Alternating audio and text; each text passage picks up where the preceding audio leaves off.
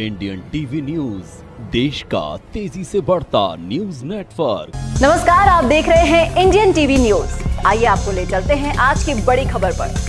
संत स्वामियों के सानिध्य में ग्रामीण पा रहे हैं प्रवचन लाभ। आपसी मतभेद दूर करने का सबसे अच्छा मार्ग है संवाद। जब हम आपस में संवाद बंद कर देते हैं तो दूसरे लोग इसका लाभ उठा जाते हैं। और वह कभी एक नहीं होने देते। इसीलिए अपनी चेतना का स्वर जगाने के लिए आपस में मेल जोल बढ़ाते हुए संवाद करें, बातचीत करें, हंसे, गाएँ, इससे ही प्रेम भाव जागृत होगा। 16 अगस्त से प्रारंभ हुई स्नेहा यात्रा के दौरान स्वामी हरिओम आनंद व अन्य संत ग्रामीणों के साथ बस्तियों में पहुंचकर भेदभाव मिटाने के लिए आशीर्वचन प्रदान कर रहे हैं। गुरुवार को स्नेह यात्रा उन से प्रारंभ होकर रायबीड़पुरा, बेजापुरा, रोम, चीचली, बरूड होकर नीमूगल और नवलपुरा पहुँची। दौरान गाँव के सरपंच व पटेल सहित वृद्धजन तथा जन अभियान परिषद की नवांकुर संस्थाओं के सदस्य उपस्थित रहे। संस्कृति ही नहीं, भाव भी अपनाने लगे हैं।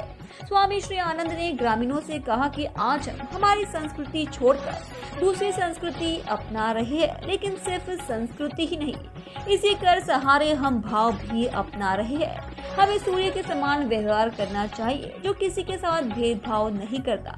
महापुरुषों व क्रांतिकारियों ने देश बनाया है, फिर क्यों हम एक दूसरे से भेदभाव रखें? छुआछूत और भेदभाव को समाप्त करने के उद्देश्य से निकाली जा रही स्नेह यात्रा आज ज़िले की कसरावद तहसील के ग्राम बाड़ी पहुँची। यहाँ संतों का पुष्पों से स्वागत किया गया। संतों द्वारा ग्राम वासियों को भेदभाव खत्म कर एकता से रहने का संदेश दिया गया।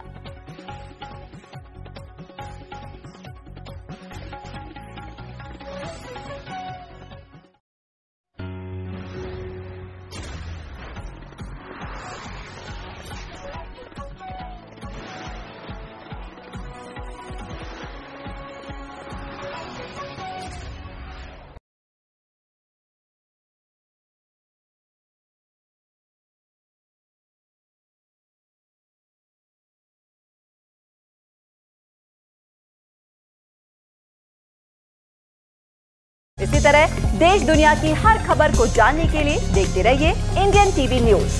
हमारे चैनल को सब्सक्राइब कीजिए और हमारे इस वीडियो को शेयर ज़रूर कीजिए। धन्यवाद।